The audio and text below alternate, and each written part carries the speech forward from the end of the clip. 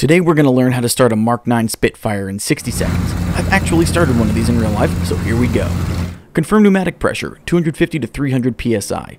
Undercarriage indicator, on. Throttle, crack half an inch. Parking brake, set. Fuel cock, giggity, on. Propeller lever, full forward. Carb air filter, forward.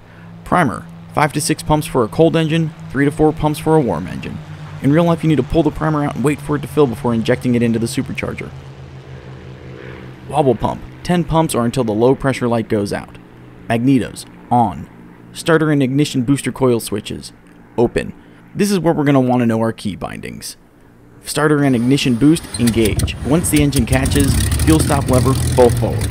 Set throttle 1200 RPM. Confirm oil pressure above 60 psi within 30 seconds. Close the starter switches, lock the primer. Let the oil temperature to warm above 30 degrees and you're ready to taxi.